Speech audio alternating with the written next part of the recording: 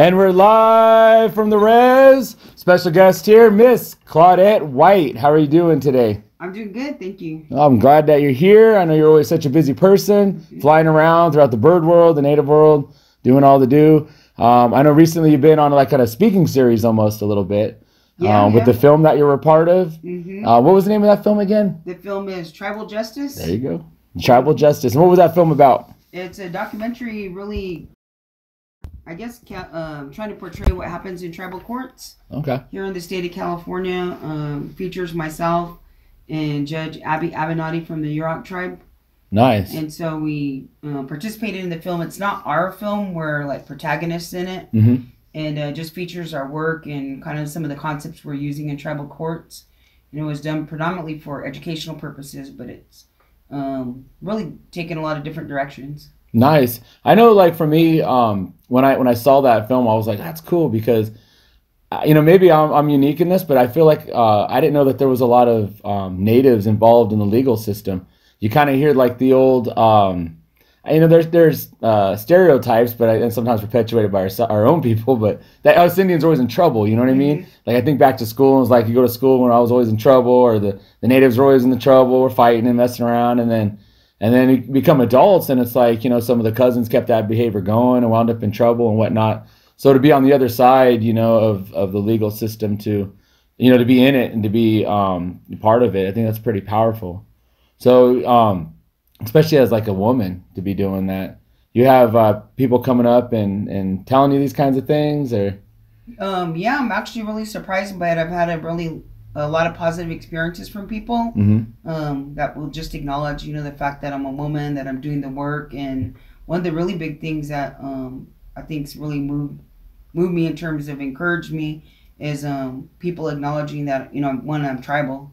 And I look like I'm tribal, yeah, and that's not to be discriminatory against anybody that doesn't look tribal, yeah, but for people that you know look like tribal people, it's uh, not something people see all the time. So when I go to different reservations or have different speaking opportunities, people come up to me like, "Man, it's so good, you know, to see somebody that looks like me, you know, doing what you do," and uh, that's always encouraging to see that. And uh, just recently, um, here we had done a presentation at Squan, and um, one of the former tribal leaders actually served this tribe for a long time had said um, when he had met me there, "Can I take a picture with you?" And I said, "Yeah, sure." Really didn't think much about it. I thought well, maybe it's because I was just sharing that night on sovereignty. And he said, uh, "I think this is the first time I've seen a tribal judge that's tribal." like truly tribal, right? In Yeah. image and look and Yeah, wow, that's crazy. and that was a pretty big deal. I remember one of the first times uh, when I got on the bench, I was presenting at a California Indian Legal Services uh, annually. They were doing a tribal court symposium, and um, presented. Didn't think too much about it. Uh, went to sit down, and then uh, a couple elders came up to me and were talking to me, uh, chopping it up, and they were teasing me. and They said, "Wow, you know, you done this, you done that, you've been on your council, you manage your casino, and like now you're doing this. Like, when did you start? When you were five? and I was like, I wish. Like, no, no, not at all. And uh, they told me they had some kids they wanted me to meet. I was like, Mhm. yeah, sure. And um, and I didn't know it until afterwards. They, you know, it was a good group of kids, and uh, it wasn't another judge who was tribal from uh, Shingle Springs at the time. And uh, Judge Gomez, Judge Gomez told me later, did you realize that those people went home and gathered up a bunch of kids and brought them to come talk to you and Wow. meet you? I was like, I mean, that really touched me. You know, not really Yeah. thinking about what I do. Sometimes I just do it, and not really realizing like the uh, impacts that can have on people. hmm And so I'm always encouraged. Like uh, there are a lot of people who will come up to me like crying, like elders, you know, like about how good it feels to see somebody like a woman doing the work and to be connected to tribes. So it's not something I take lightly, that's for sure. That's great. You know, I remember being a kid, and um, and I've shared this story a couple of times. But one of the elders here in this community, he's gone now, but he was on the uh, board of education here in Alpine. And I remember being a kid, they'd have assemblies and they'd call in the board, you know, they'd come in and uh, do like student of the month, they'd shake hands Mhm. and all that. But he always wore a ribbon shirt. I remember being a kid going like, wow, that's cool to see. Like, because I mean, the Alpine School District is it's predominantly European American. It's all a bunch of white kids and everything, and, and you know, handful of uh, minorities and handful of natives. And so to see one of our own elders up there with a ribbon shirt on, I used to think, man, that guy's like representing hard. And this is like in the '80s, you know. Um, but that was like before we had any kind of economic development that was really booming, where they were Mhm. really wanting to hear anything from us. So for him to be in that space and uh, to just truly represent, you know, I imagine he must have gotten treated. Who knows how? You know, I'm sure they they're probably looking at what he's wearing, like, why are you wearing that? And they're all in suit and tie, and he's in a ribbon shirt.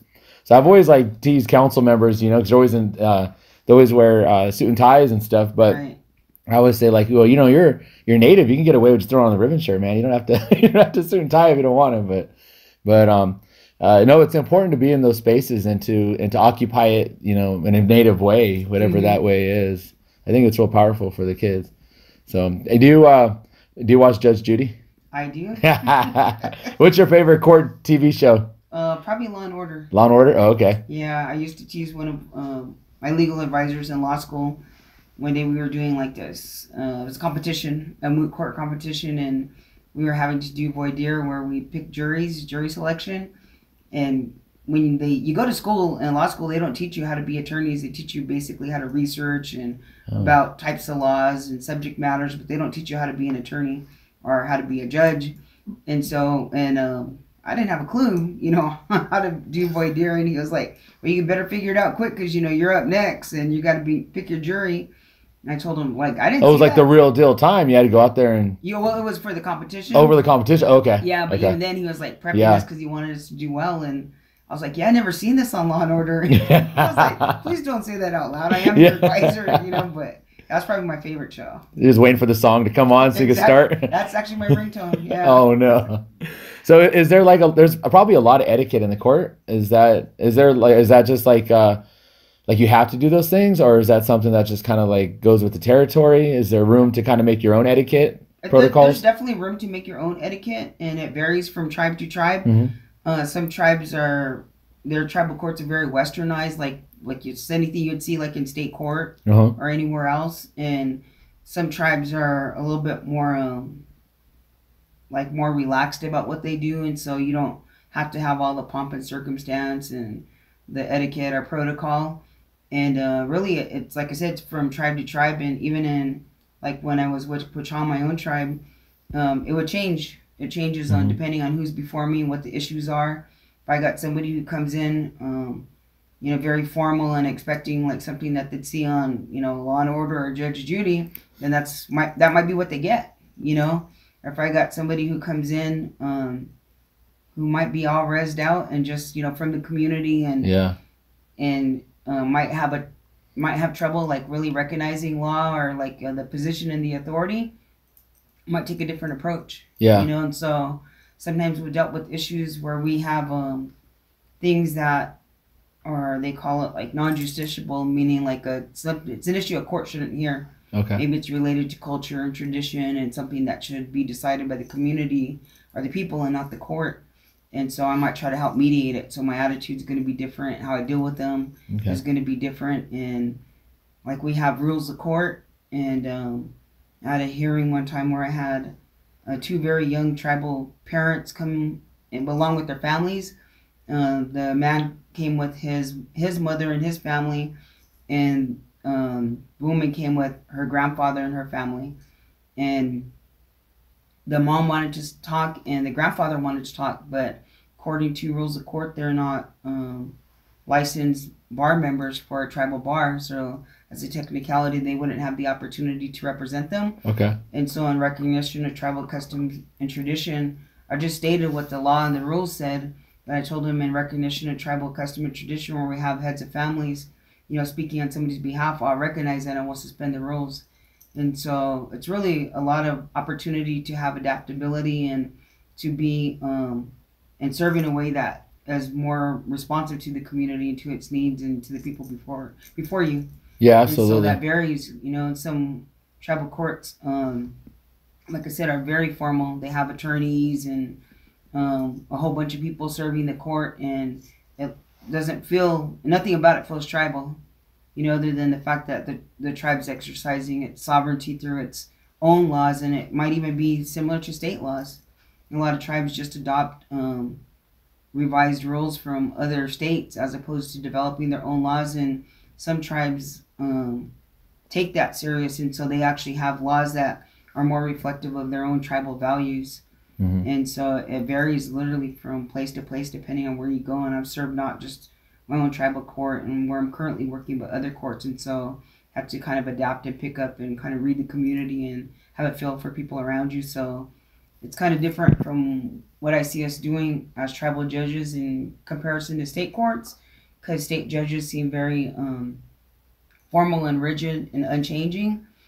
That's how they seem, you know, when when I observe, and then I think about us in tribal court, and a lot of times we have to change, like we have to adapt. We don't ex- always expect people to adapt to who we are and how our attitudes are. At least that's the premise I take, because I always think of our roles, and the reality is we're servants. You know, we're still Yeah. civil servants, but I know authority gets to people's heads sometimes, and it's easy to to be different about it. But I mean, you still have to control your courtroom, so sometimes you have to be you have to be a certain way, you know. Sure. And it's hard sometimes, like to be like you got to be hard and authoritative and Because like, people really probably have the opposite too, right? They come in with a bad attitude about the whole system without even giving it a chance, yeah and yeah that seems like it wouldn't be fair either.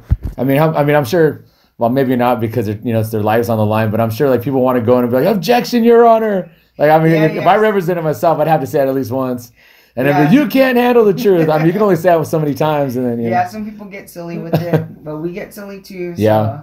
Yeah, I mean, you can literally all kinds of things happen. I got all kinds of stories. Unfortunately, I can't always tell them. Sure, I bet. know, Yeah. confidentiality but it's it's funny sometimes people can it's uh have a lot of anxiety about going Mm-hmm. to court and so you try to make it a little bit user friendly and a little bit more comfortable and just really um, we look at tribal courts as courts of equity like just trying to be equitable and reasonable and trying to really come out with outcomes that are gonna that people can live with you know Sure.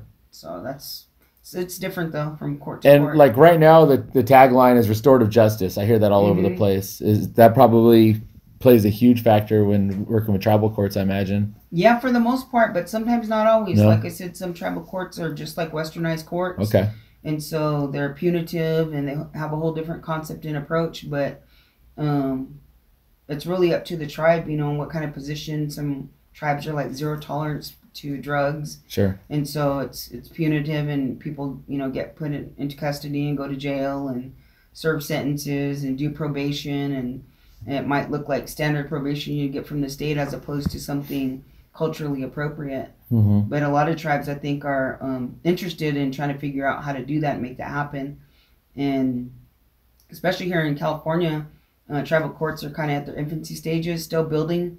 Like not all tribal courts in the state of California um, exercise like full jurisdiction. Yeah. might pick a certain subject matter, and when I say that, I mean like an issue, like criminal uh, court, or maybe it's dependency for Indian Child Welfare Act cases coming from the state, or DV issues. They might just pick what's important or what they think they need to offer their community, as opposed to a, a full court of general jurisdiction, meaning hearing all kinds of subject matter cases and really exercising their sovereignty. I think Yeah. a lot of tribes here in California um, aren't fully exercising their sovereignty by um, not fully developing their courts. Courts in California sometimes seem like an afterthought, hmm and I think that's because of Public Law 280.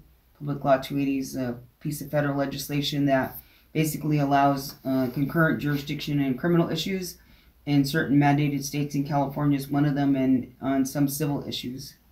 Okay. So it's a little complex. I feel like all of it though is like the importance of it's so important because you're dealing with small communities, so Mhm. whatever's going to be done uh, for you know the punishment that's served out, like you want it to be something that's going to um, positively affect the community. Right. You don't want to be giving it the Indian pass or some kind of like you get away because you're Indian or you're hey cousin or that because reality is if they they're harming the community or themselves, Mhm. we're gonna feel that the community is gonna feel that very strongly.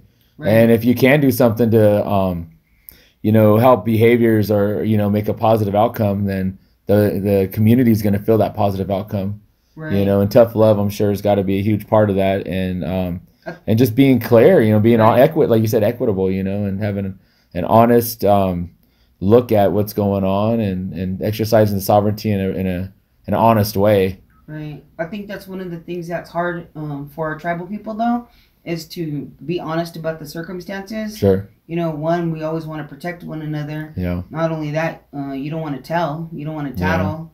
what do you say? Uh, snitches get stitches. You know. You said it. I didn't. Yeah, I'm just saying. Like, hey, hey you hear it? You But know, I mean it. Hey, no, yeah, You know, absolutely. people have that mentality and they don't want to tell. Yeah. Like I'll go through entire hearings. It might be maybe for custody issues, hmm and uh, people aren't saying anything. They're just kind of alluding to things, but not being specific. And they start hearing uh, maybe the direction I'm going, or I'm asking questions, and and somebody else starts telling the truth about you know what's really happening. The other person. There's a lot of things I could say. I could say stuff about him too, but I'm not going to say it. I'm thinking, well, that's exactly the kind of stuff I need to know. Like, Yeah. I'm making the decisions here, and you're holding back on all the important stuff, but they don't want to tell, you know. But uh, I see that in our communities, and that's a challenge because we can't, as judges, just arbitrarily make decisions on our own without facts. Sure. We sure. can only deal with the information presented, even if we think we know what's going on. We Mhm. can't use it unless it's said. And uh, any outside knowledge, that's the other thing, you know, uh, living in our own communities and uh, serving our own. Well, we have our own court. It's called the Court of Public Opinion, Right. and they're guilty no matter. Because Yeah. you know what I heard? No, you can't live in that world, though, right? You have to No, just. you have to yeah. that. Like people come in like, well, you know how they are. Hey. Like, hey despite what I know, like I Even the deep down, you know, you don't want to get into the gossip. Like, Like, you know no, they- tell me. Yeah, Hey. people say that like, well, you know how their family is. yeah. You, they're always they're always fighting. You know Oh, that. And. I'm like, yeah. Unfortunately, I can't use what you what I think I might know. I can only use the information presented to me here. And Yeah. even elders, you know, it's, I've seen some real sad situations where other family members have encouraged elders to maybe file for an order of protection and they'll come in and I'll ask, you know, going through the petition, like, hey, it says that they hit you on this date or they pushed you down, you know, can you tell me what happened? Like, I don't know, you know, like No. whatever it says, I don't, I don't know. Yeah. Mhm. Like they don't even want to be there, but they also need to be protected. And the other uh, parties who are maybe there with them are like, "Hey, tell them what happened. You know, tell her like what they did to you." And they don't want to tell, Just want to protect your family, yeah, as Yeah. best they can. and they don't they don't want to tell, and it's hard to uh, make decisions and help people Mm-hmm. when they won't say what needs to be said.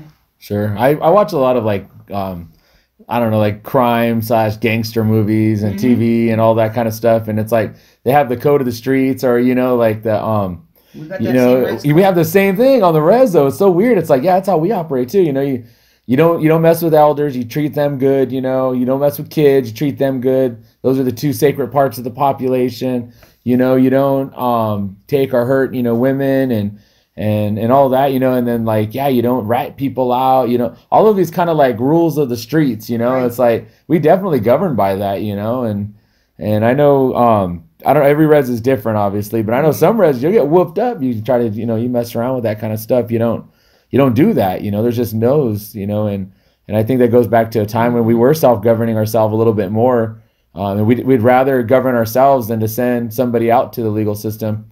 You know, they might get, you know, 100 years ago, they might get killed and hung and all these kinds of things. And maybe it's just better to whip the dude up a little bit or something and set him straight um, or just kick him out of the community, you know, or something. But but uh, I think times have kind of changed too, Mhm. though. We have to, um, you know, we're right now. I feel like we're in as a society, like all the different reses and the native nations are are working our way out of trauma, you know, and they're Mhm. working their way out of all this bad history. And it's like you can't really heal and you can't really uh, put attention on a lot of these issues if you're not going to be honest about them. You know, number one thing is you got to be honest and just say, you know, th- address the problem. This is a problem. This is what the problem is. And um, whether it's violence or an abuse or a sexual abuse or our elder abuse, like you have to actually say, hey, this is a problem. This is what's going on. Now let's Mhm. address it. You know, uh, but it's hard. I know it's got to be hard for our people. You know, and and those cycles continue. You know, you Right. you protect your cousin, your brother, your nephew, son, whatever, and um, you know, I just named all boys. The women who are beating up the men out there. No, I'm kidding. But no, you, you protect these guys, and then they're teaching that behavior to someone younger, and it just continues. So at some point, you got to put the foot down and say, no, we're not going to allow that. And uh, I guess move forward. I guess huh? Mhm. that's where we're at right now. I suppose.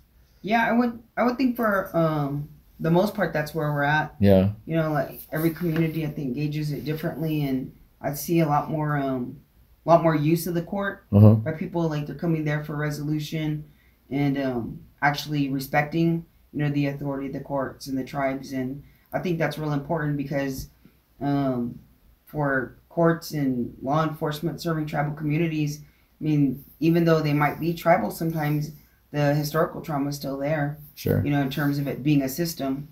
And uh, I know even myself as a judge of being a tribal person, I don't always see myself as part of the system. Mhm. You know, I remember one day I was talking to my brothers and I was like, oh man, and we were talking about like courts and law enforcement and, you know, excuse me, when my brothers said, um, man, like, you know, they were like down with the system. And I Uh-huh. was like, right? And I was really agreeing. And they're like, hey, you're part of the system. I was like, oh, whoa, hold on a second. That's different. Yeah. Because I don't see myself like that. Do you ever feel down from it? Like, you know, doing these cases and you're seeing all this, like, I mean, a lot of it's got to be negative that you're having to deal with, you know, seeing families going through it, seeing people having these times in their life, sometimes their lowest time in their life, they do Mhm. something stupid um, or get themselves involved, make a decision that's not good for them, a bad decision. You know, a lot of people, good people make bad decisions and, and bad outcomes come out. So you're always kind of seeing that. Does that ever um, bring you down? Does it Oh, put you in a bad spot? And then, and how do you deal with that? Like, how do you not live in that? I mean, how do you get yourself out of the funk and feel positive and good? I, that's why we're at gatherings like every weekend. Yeah, I know. I, I feel that. We're at gatherings Yeah. every weekend. Um, hey, speaking of which, I saw you. I saw you at um San Manuel. I saw your your boy went viral. Those that don't know, uh, Claudette's son is Zion, Mr. Zion White out there, Mhm. um, singer extraordinaire.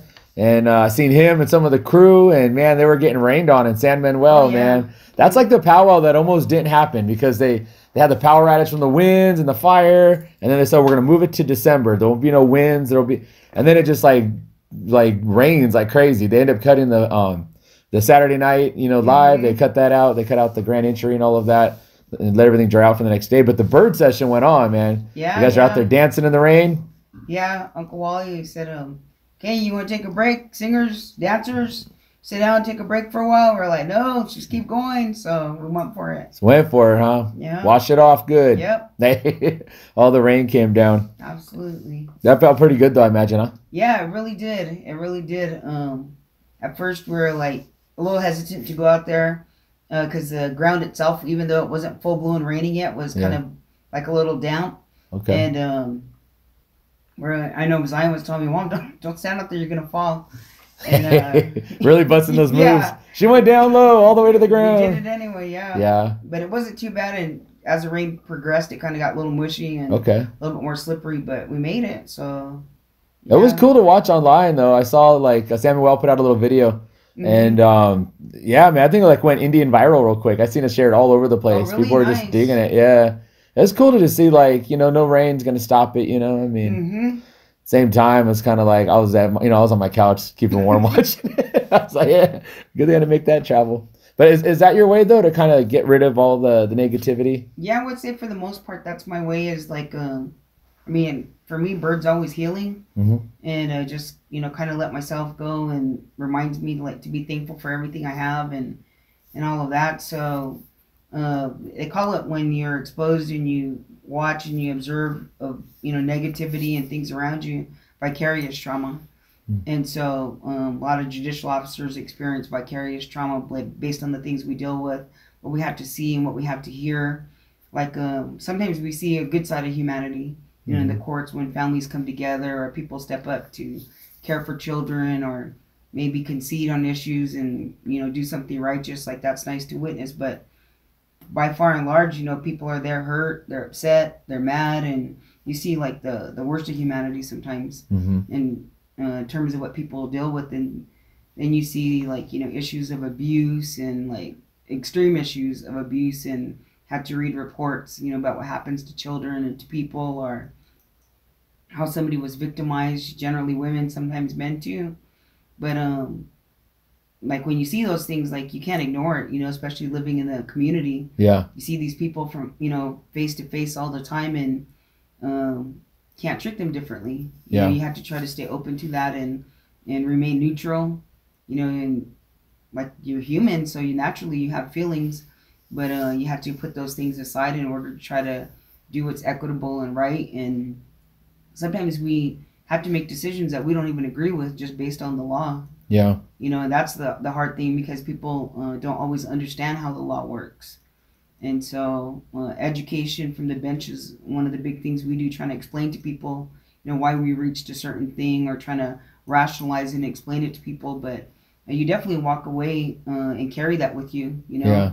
and you see the kids in the community, you know, you like you can't be um vocal and direct about what you see either. You know, you just have to try to act normal and kind of suppress and work through those things. But for me, like I think that's what keeps me balanced is one, my son and the relationship I have with him, but then just doing you know bird and focusing mm-hmm. on my culture and like I said, um trying to focus on the positive things in my work. Like I'm glad I'm able to be of service and to hear and do those things as opposed to somebody coming from the outside who maybe doesn't understand the community. Mm-hmm. You know, I don't know if you if you uh, had seen Tribal Justice, but in there I talk or I make a, a statement saying that um, you know I'm there, I'm from the community, I'm from the reservation, and I'm not immune from anything that that means. You know, like seeing abuse, alcoholism, mm-hmm. and molestation, all the bad things that you see happen in communities. Like myself and my family, we're not immune from that. Yeah you know, we've all experienced that or seen that, witnessed it, had it close to us, or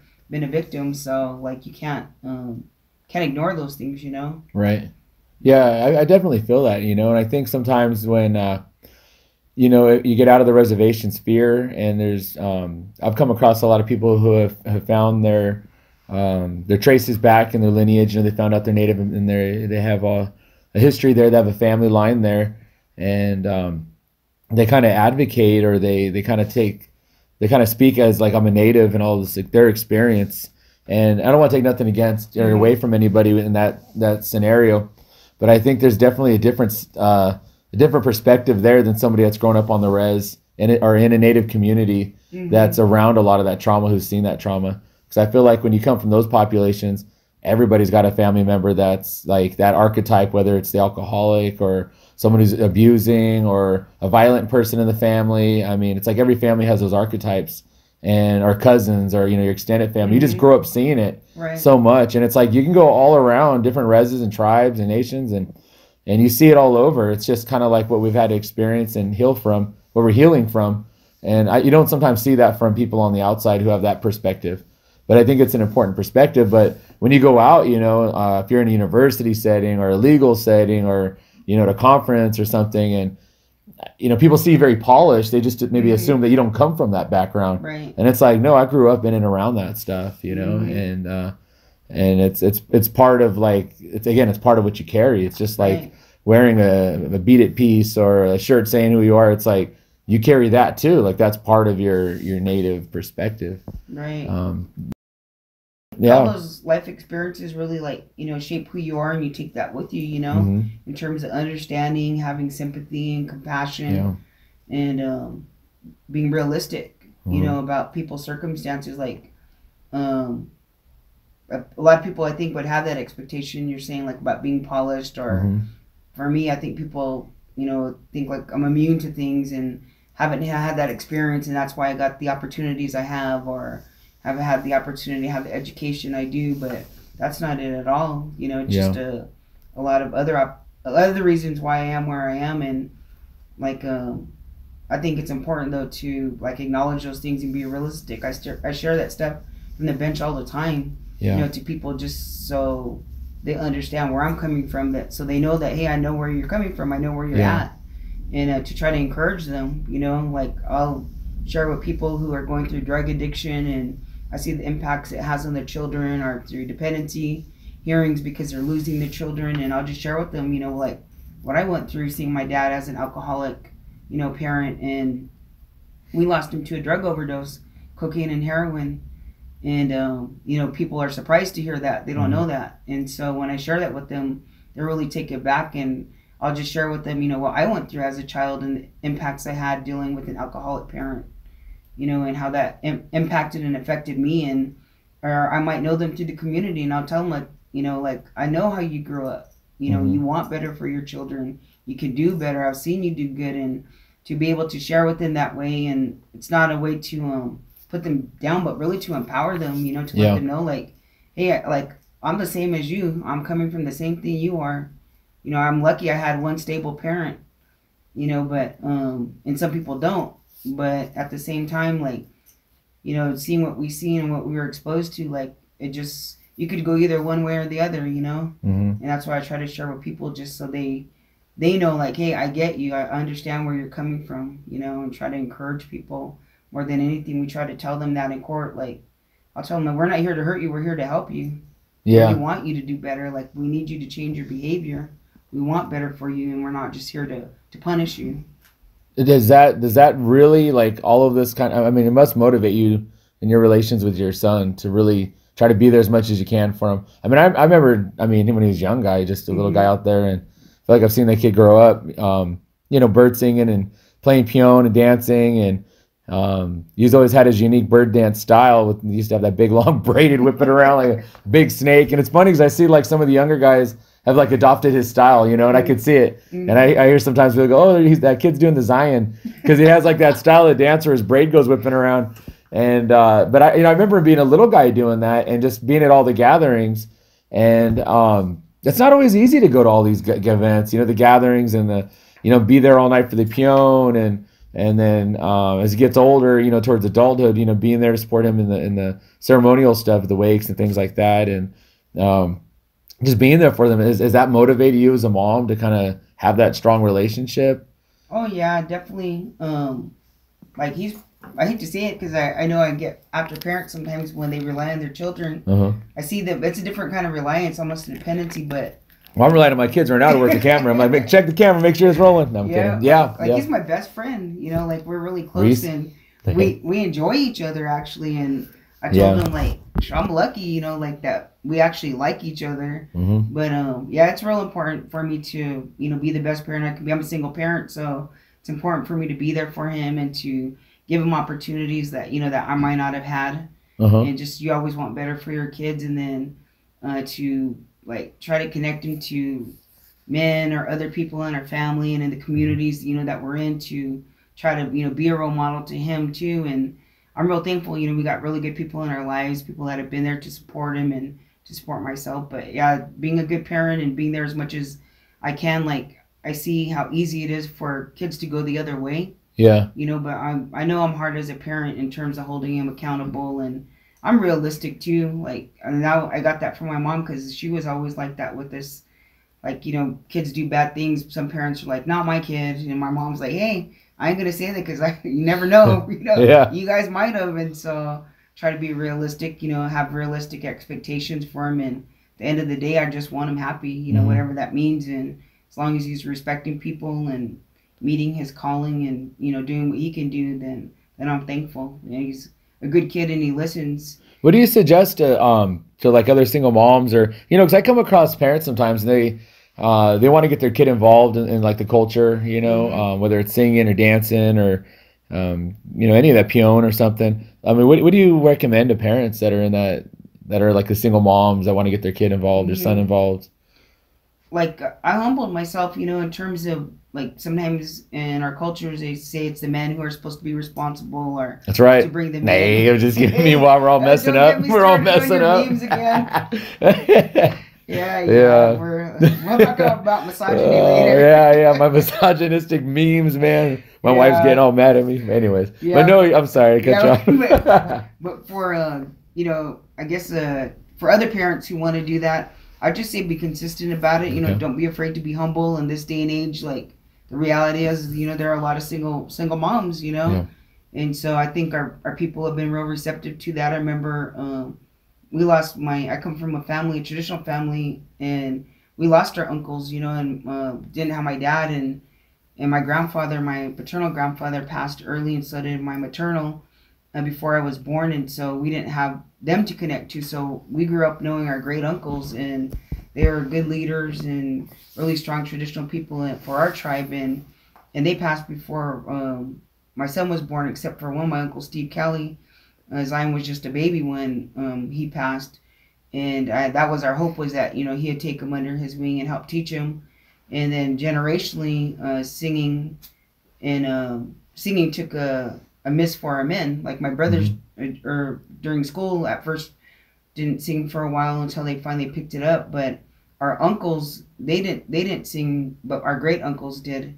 So generationally, we had that gap. They're fluent speakers and stuff and knew our culture, but they didn't actively sing. And so when my uncle Steve passed, I ended up going to Willard, you know, Willard Golding Mhm. Sr., and told him, hey, I know my uncle, you know, you sang with my uncle and he helped you. Like, I'm asking you to help my son.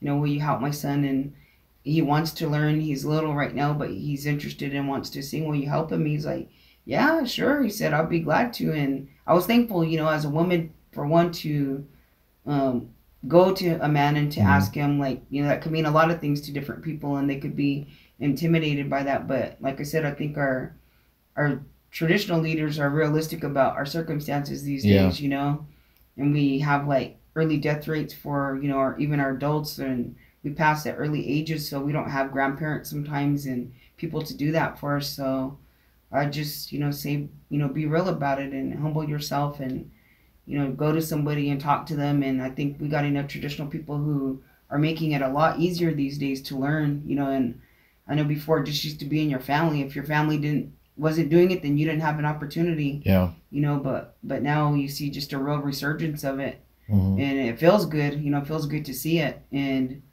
uh, one of the things I know we've been working on at home and, um, and even for Zion, like uh, just a correlation I make. I think when I see him and how he grew up and the opportunities he had uh, to learn tradition and culture, um, I'm thinking like, oh, here we are. As you know, I think we come from a traditional family. He's here in the middle of it. He's got opportunity. He's learning. He's doing good, and um, you know, I'm thankful for that. And it wasn't until this past summer that he had a really powerful experience, like uh, when he was going through the Ludov cycle and looking at um, early ethnography and learning more about uh, the meanings of the song and the creation. And uh, it was like he had an, uh, a real wake up, you know, mm-hmm. and he mm-hmm. was like, and it consumed him literally. Like even I had provided him some materials and things that I had saved. Even just um, throughout time, my mom would collect like traditional leaders or people like um, political leaders even would write a, a story or something mm-hmm. and you know, handwrite it and then make copies or type it out. And like she kept all those things. Like, you know, people would talk about what they knew or what was shared or what something meant.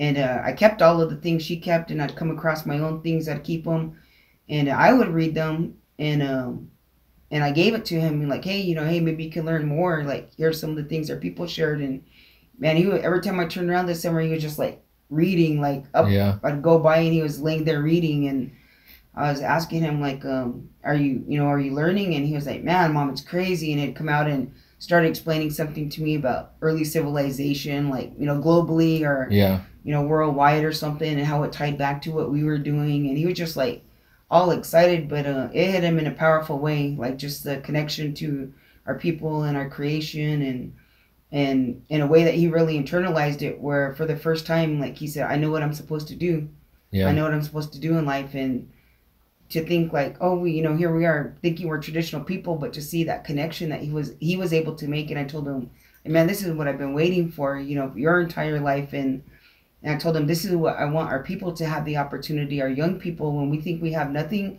like i want them to know like just how we're created we have everything and so we're working right now with a couple elders back home uh, to try to create that opportunity like for other people to learn sure. to apply those things to daily life because we don't you know we right. a lot of people get up and can sing and dance and i'm not saying that that's not a bad thing but that's not enough that's yeah. not going to be enough to sustain us yeah we feel good about it and you know we feel grounded and tied, but when you start to learn your true creation and the origins and literally you know like how you were energized and created and all the connections you have to all the, these sacred places and spaces like it um it does something different to you, you know, mm-hmm. and it changes you. And that's the kind of experiences we want to bring to our people right now. So we're working to make that happen. But I think if um, parents, you know, like want to connect their children, like you have to be consistent about it. And so it's a sacrifice. And yeah. I know you guys go through that. And it's not just you. You take, you know, your extended family and, you know, bring in kids with you and, you know, fill up your your vans and you know, do what you can Sometimes do. two vans. exactly, yeah. exactly. But um, that's so important, you yeah. know, and it, it's a commitment. You know, I've had people around me tell us, oh, we want to learn, you know, oh, we want to do this. I'm like, oh, good, you know, do this and try to tell them, you know, what to do or give them opportunity. Like, oh, hey, we're going to go out to the dunes this weekend or, oh, yeah. we're going to be out in Ocotillo or, oh, got a birthday party. Yeah. And like, you want to learn to bird dance, but they're working on their cheerleading more than they yeah, are their bird dance. Yeah, you know, so you don't want to be critical, but um, they got to understand when those opportunities come, like they come, you know, you got to seize them it's definitely a calling. You know, I I Mhm. feel like most singers that are older that that lead it that I've spoken with have all had a moment like what your son had, maybe even a couple, but definitely one one moment where really um, it's galvanizing their mind and uh, you know just that this is for them, like it's a Mhm. calling. And I think that some of the lifestyle can be really uh, arduous and difficult. And if you don't have that that real deep motivation, a calling, you do kind of just fall out over a period of time. You might be able to hang a couple years or a few years, or the cameras are out, or if you're getting paid, or if life's going good, or you know. Um, but when it gets hard, when there's nobody around, or you have some real responsibility, or if your health is, you know, your health goes, and you still have to do these things, that's where you see like you have to dig deep, you know, and it's a very spiritual thing, and um, you get through it, you'll do it, you know, and it's Mhm. been done, and and all the old ones who some are still around, a lot of them are gone now. That you know we saw growing up, um, they did it, and it seemed. I always think back. I look back back at them. It's like they were like robots because I don't remember their voices ever being tired or them looking like they couldn't like. Sometimes I get up there and I'm like barely making it. I'm a healthy guy. And I'm like, I don't remember seeing those guys ever look like that, you know? And they were old and were not healthy. Yeah. And it's just like they were just robots, just cranking through, you know, and just the knowledge they had to be able to to explain the song in their language and then the different dialects around different language. You know, they knew different languages, you know, not just like we're just struggling to learn our own language solid, you know, and like they knew the different languages of the areas they went to go sing at and to be able to share, you know, all the different knowledges of the song and the purpose and the, the creation stories, all of that stuff that we're really trying to learn, you know, but to know these old dudes had that and just to see them in their element. I know for me, I always think like, I'll never think I'm all that when it comes to singing because I just I seen those dudes. You can't see those guys and ever think you're something because they were just such like at such a different league, Right. different level of of um ability, just the the strength of their voice, the knowledge, and then just the the heart that they put into it. You know, I mean, some of these guys sang until they were just gone. There was nothing left, you know, of them as a person. And it's like again, I don't remember them sounding bad. they would sound good, you know. And I was just like, man, but um, it's a, just a deep calling that I've I've seen in people to be able to do that, and um, You figure yeah. even the resources, like yeah, having next to nothing, but still being able to get everywhere and make it. yeah, no before car, no nothing. Like can get a ride to their side, you know. And I think about that because like I have a decent car for the most part usually, you know. And we're driving here, we're driving there, and I think back to like the '80s when these guys would be rolling in, and it's like their cars weren't reliable, you know, but they would take that leap of faith to come out and Mhm. and sing and and uh, you know like your uncle would come out and he'd have a driver in the car sleeping, you know. Mhm. to drive them back because it was like they weren't going to give them. We didn't have rooms here to give. You know, could have stayed at someone's house, but but it's like give either. yeah, and, and- and they just came out. You know, we'd feed him, take care of him as best we could, and make sure he got home okay and and and whatnot. So um, yeah, it's like they didn't have all the resources we have now. You know, Not at all. just strength. That's all they had, inner strength. So going from that to where we're at now, what, what do you think about uh, contests? Are you a proponent? Or are you against it? 'Cause people kind of get like, I feel like people Yeah. get like, um, I know for me, people go like, well, I don't contest. I don't believe in it. And it's like, Oh, yeah. that's cool, you know. But Yeah, sometimes but I think, not to throw shade, but sometimes I think, well, I don't see you dance anywhere, let alone Right. contest. But for me, you know, I have my opinion. What's your opinion on all that stuff? Well, a lot of people I hear saying that. Sorry, leads, but sometimes it's the leads that are saying that. They, I'm thinking like, hey, you're getting paid to show up. Like, you don't need a dance. I mean, that's just my my Yeah. position. And uh, Mike, don't come after me for that. hey, But, uh, shout out. But that's the reality. Sometimes you Yeah. know, like like I contest, and honestly, it's a challenge and it's a burden. Sometimes to you have to get Yeah. there for signups, leave. You know, you, several hours away for that to happen. You know, you're gonna stay and play peon, so you, you might not be able to get a room. You don't know if Yeah. you're gonna find a place to sleep or what's gonna happen. And uh, I'm not complaining about it. That's just the reality. You know, we deal with when we do it, and. I, I compete because I want to try to help cover my trips. yeah So I can get to the next gathering. yeah, And so I compete, but I'd rather not. You know, like we show up anyway. yeah, Like we try to budget to show up anyway. Like if it's um fantasy or you know other Yeah. places that don't have competitions and all we do is jam. Like now we're we're there anyway. Well, that's know, what I think too. Is the people that are really like, well, I, you know, I don't, I don't believe in the contest and all that. But it's like the people I do see contesting everywhere. It's not like they only go to contest areas. I always, I see them everywhere, you know. And Right. I feel like, um, especially out your way, I see like a lot of the ladies. They're not just there at the contest or the powwows or the social times. They're there for the ceremony stuff too, and, and they're not getting paid for that. You know, it's just something they Mm-hmm. Love to do. And um, you're I not gonna, I think it's fun. Yeah. We didn't have it, we didn't have it. Yeah. You know, but um, like you know, in all honesty, like I said, I sign up for every contest just Yeah. so I can try to make money to get to the next one.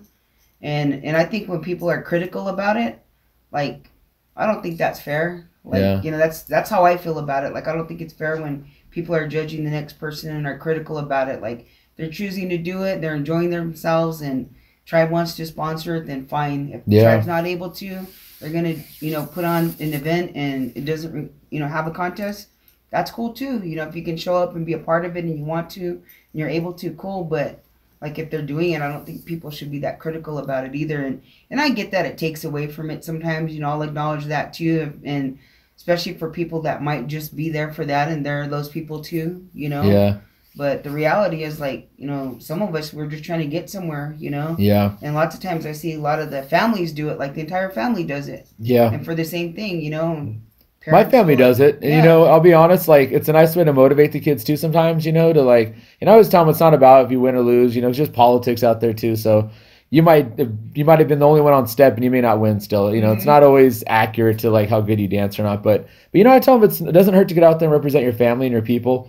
You know, if there's um you know, like 10 kids out there and there's nobody from your area and you're out there, rep- now you represent your whole nation, your whole tribe Right. and do your best. You know, it's good to do that. And I know me, it motivates me because sometimes, you know, I'll sit there and be lazy. I won't want to get up out of my chair or off the bench or, you know, I'm just singing and, you know, or, or you know, and I'm just watching everyone. I'm enjoying it, but I'm just kind of being lazy. And then it's like, oh, I signed up. Oh, I better get up and go dance. And then, and then it kind of forces me to get out there. And then after my, I get kind of going, then it's like, then I feel like dancing. I'm all into it. My blood's pumping and I'll dance and have fun until I leave, you know? Mhm. But sometimes that'll be enough to motivate me.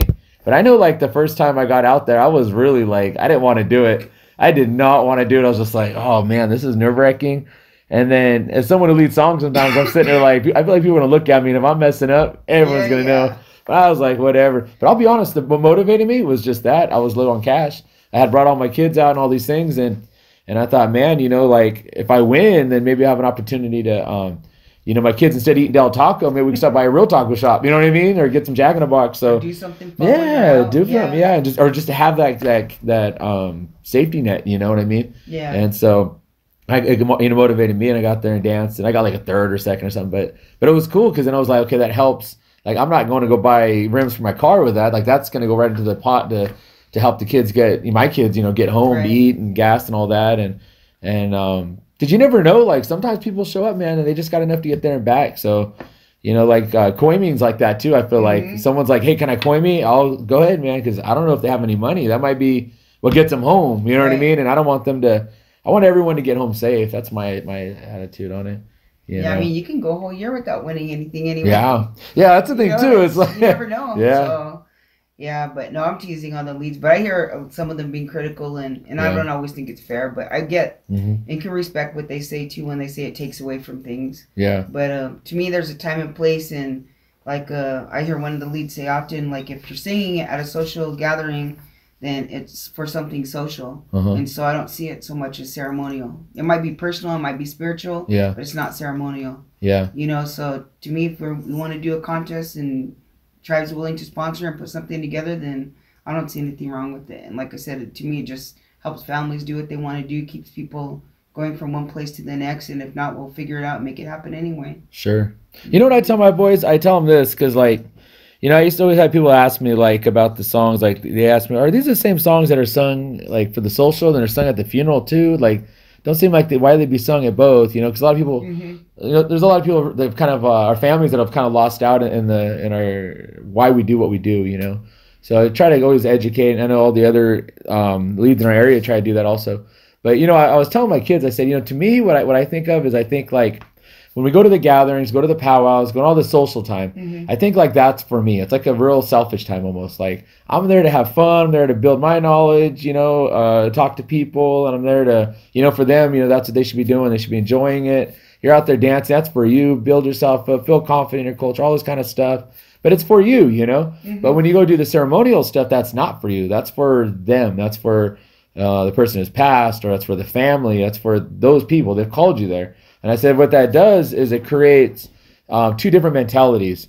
So if you're not feeling good or you're tired, you got better things to do. All right, well, you don't have to go to this because that's just for you. If you don't want to do that, then don't do it. Mm-hmm. But then this thing, it's not for you. So if you're tired or you're a little injured or you're sick or you don't want to be there, tough. It's not about you. Suck it up, right? Suck it up, Buttercup. And uh, you got to go and do what you've been asked to do and get it done the best you can Mm-hmm. because it's not about you. It's about that.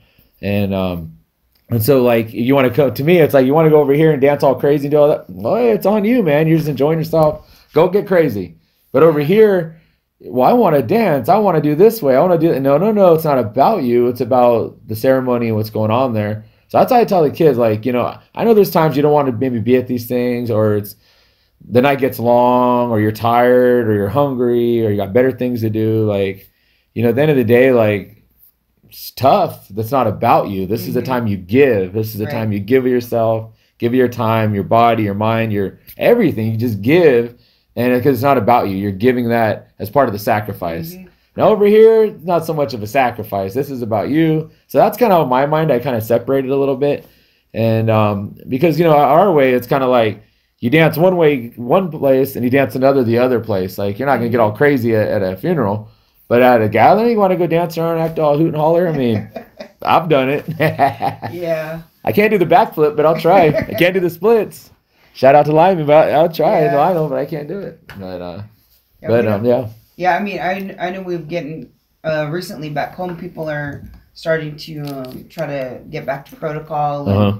get more strict about what happens, like in our big house and stuff. And I, I respect that. I appreciate that they're doing that. But again, like um, I think we're so critical of ourselves, you know, and Yeah. of each other, and, and the whole lateral violence thing, and like we can truly be our own worst enemies, you know yeah, in terms of how we treat each other, that whole crab in a bucket thing. We hear it all the time, but we don't do enough to change it or speak out against it. And uh, I think would be a lot further along as people and, you know, in our governments and in our communities if we did speak out about it, you know, like we just had an event uh, a couple weeks ago, I think the same day as Fantasy, we stayed behind. Um, we didn't go out Friday night and we stayed on the reservation so we could attend that meeting hmm and myself and Zion, and um, you know, just kind of seeing what it was about, hearing what they were talking about, and I thought they were doing really good. You know, just kind of outlining some of the things that used to happen, kind of some of the things that families would do and maybe do differently from one another. But it started to get um, to me to a place where it just was real unreasonable. People were starting to say, "Well, when you're in the big house and you're, um, you know, what do you think about covers on the, the caskets?" Mhm. Somebody was like, I don't like it. We shouldn't do it. And somebody was like, Yeah, they put you know team colors up or pick flowers that are for the teams or their favorite this or that or wearing ribbon shirts. You know, we don't wear ribbon shirts. That's not a Quechan thing. And uh-huh. we're kind of getting you know really extreme about it. And I'm sitting there listening, and you know, me and Zion are looking at each other, and we're like, "Uh, maybe that's a little too rough. You know, like it should be up to the family's choice too. yeah, And uh, finally, I just put my hand up and I told him, I said, you know, the reality is if we, we look at the first cremation, um, like you're saying, okay, dress shirts are okay. And I knew the families, like, they might all coordinate colors of dress shirts. Like, we didn't have shirts either, you know? yeah. so They were dressing back then Yeah. different. A lot of things we were doing are like things that we all we're making up. You know, it's all Yeah. new protocol, all things that we just created.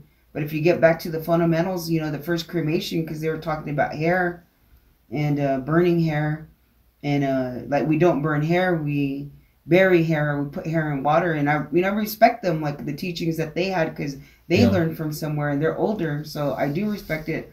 But you look back as people in our origins, like we went to the first cremation, or like the animals would cut their tail and their fur and put it in the fire. yeah, Like at some point, we changed all of that, you know. And so, like, I think we need to be a little bit uh, honest about what we're doing today too. Like, it, a lot of it is made up, yeah, you know. And so, we all just need to pick something that we can live with and that still maintains respect and the dignity to what we started and from our origins. And I think we hurt each other, you know, when we start treating each other some way and making fun of each other and putting each other down because we're not doing things like the next person. But yeah. I think that stuff's important to think about. I feel like with the the dresses, I know at our way, there's always a lot of controversy on the dresses, because um, you know, like out on the river, there's kind of like the the set. This is what we wear type of thing for the dresses, and out here in the coastline, you know, it's kind of like um, there was a lot of years, like when I was a kid, that women weren't really wearing ribbon dresses. They were just uh, kind of wearing moo dresses or what they wore. You know, that Mhm. was that.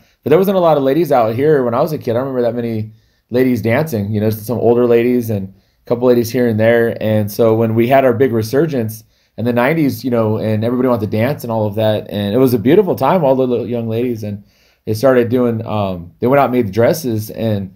It was kind of like the style they made at that time is kind of what's kind of flourished as that's the quote unquote Kumeyaay bird dress, but that's kind of like when it was developed in the '90s in that Mhm. time, and um, and so people have like you know what's the right way, the wrong way, and it's kind of like you know I, my uh, I'd kind of kind of get on a fence. Well, you know, it should be, and then I had to stop myself. Go well, realistically, we used to wear bark skirts, you know, Right. and then our women went into the you know you had to wear this type of dress because that's what the uh, the missionary missionaries were like you have to wear you know Mhm. cloth dress and then and it turned into a um, the boarding school era you know they came our women came back young ladies and and they were told this is how you sew this is how you make a dress this is your pattern and so they were teaching their daughters that and that's what our our women wore for like 67 years you can see it in the pictures Mhm, this is mhm. what you know the one piece dress um, they didn't have elastic back then so they would just sew you know, kind of like the belt line, very similar to your guys' dress, Mhm. and that was what was what was uh, worn for all that time, and um, that's what our women grew up and lived in. Those were their dresses they lived in. Mhm. A lot of them were made out of like flour sacks and things because that's what the material they had.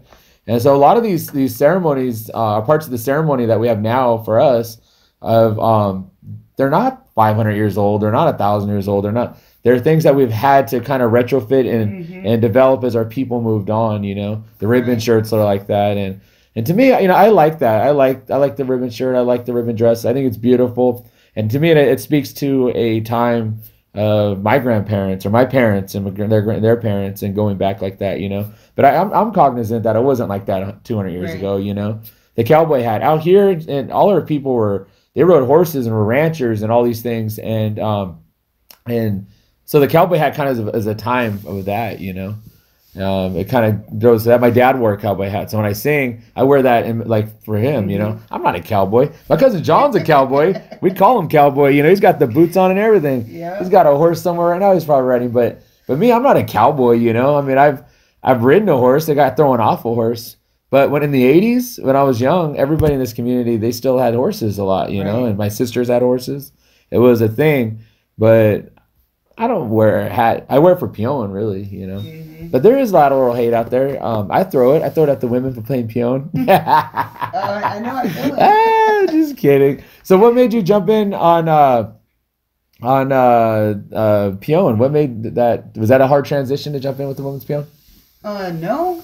Uh, we learned as youth back home. Okay. Yeah. Um. Yeah. My my uncle Steve. Uh. He played and he had a women's team. Okay. My aunt Nomi and them used to play. Yeah. And Steve's actually my um my grandfather's brother. Okay. And so uh, it was in the family and stuff. And then uh, probably was about 14, 15, I think, when we started to learn how to play. Yeah. And so when when we played, we played for a while back home. We didn't really travel. We didn't have the resources. Yeah. And then as soon as I was out of school, I went to college. But uh, we played back home. We'd play in tournaments and stuff, and we'd play the elders.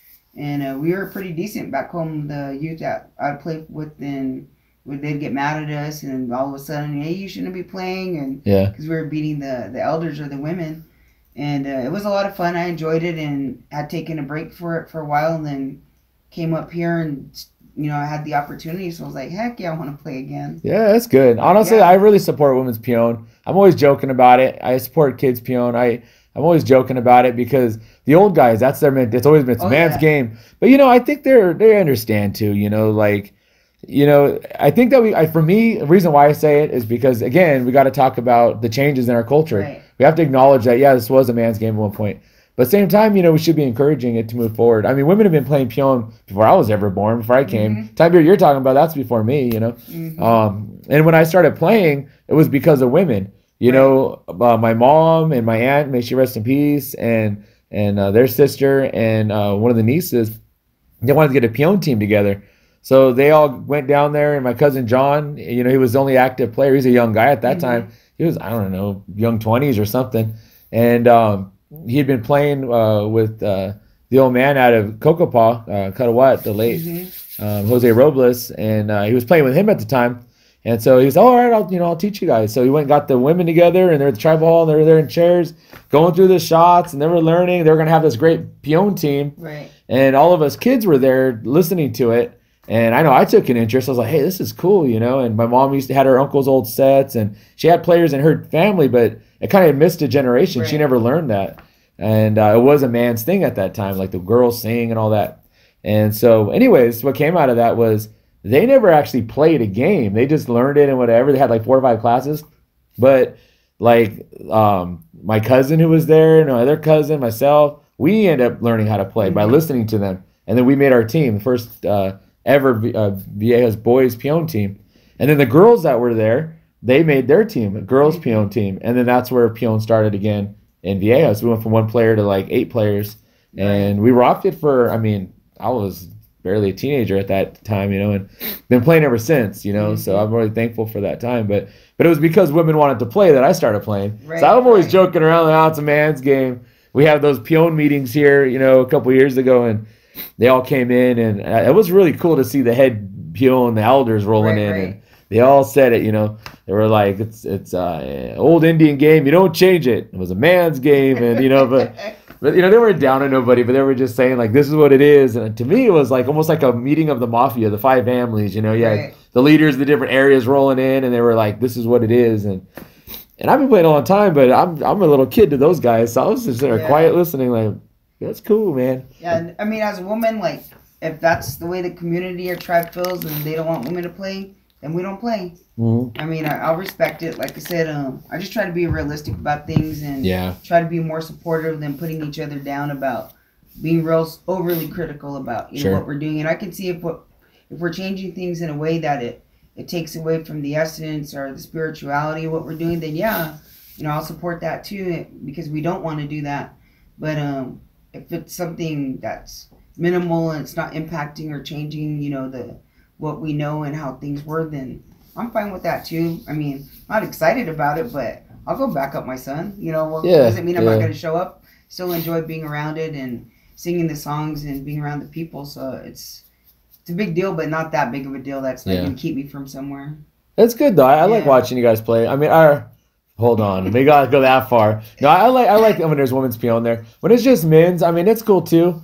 But I find myself playing at tournaments when the women are playing and the kids are playing because for Mhm. me, I'm a family man, so I like to go when my kids have an opportunity to play, you know, and our whole crew will go and the ladies, um, they'll go play, and, and it's just really like a real festive and it's a good vibe, you know. I really Right. enjoy that. I like that, and even like when they split it sometimes two nights. To me, it's not the same. I like when everyone's there the same Mhm. night. You can run into people, you know, they're there to play, and and um, you know the women now. What I've noticed too in the last like four or five years, and I think your team might have really you know pioneered some of this recently is getting back on the knees on the ground to play Right. because for a long time women were just cheering it Yeah. and yeah. that was my thing was like hey you want to play a game let's play it the way it was started which is on the knees you know right. not saying that every man plays on the knees because you know that don't happen either but Right. but it's cool to see the younger ladies you know um, your team like for sure they're like no we're gonna play on our knees and we're gonna Yeah, play on our bottoms and that's just what it is and so that's like mad respect on that you know because I, I don't feel like a lot of teams were doing that when you guys came in A lot of teams weren't, and um, even sometimes now people want to get lazy about it, you know. And yeah I told them all, "Hey, I'm a big girl. If I can get on the ground, so and and I'm older than you." That's where I'm at with These it, elder so- knees will do it. Nah, it's just- exactly. nah you got many years before you started you know Yeah. your knees fall apart. hey. But um, no, I, I honestly, I, I feel that. Um, I had my mom in here and she was talking about like, yeah, you know, men play on their knees and all this stuff, and I was like, because literally the week before, I had played and it was like I forgot. Oh, I was running. I was trying to get in shape. My legs were just dead. And come midnight, like you know, you know, they're like after the first game, everybody leaves. And there's not a lot of people, so I was kind of like, I sat in a chair a little bit, and I try not to. I try to knee it. You know, and when I was younger, I could no pad, no nothing, just knee it. But Right. I got a little heavier, and, and I'm not old, but I, I don't know. My knees do not hold up like they used to.